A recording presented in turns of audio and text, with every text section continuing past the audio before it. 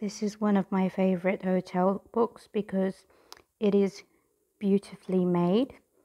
This is what it looks like on the outside and as you go in it has such beautiful pictures.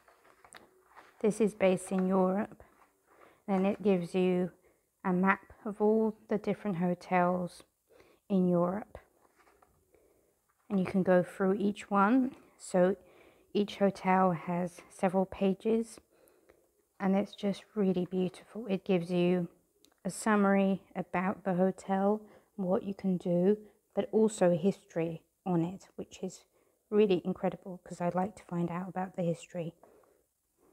Now these are some of the pages. I like that it's a hardback because the texture and feel of it is really, really lovely.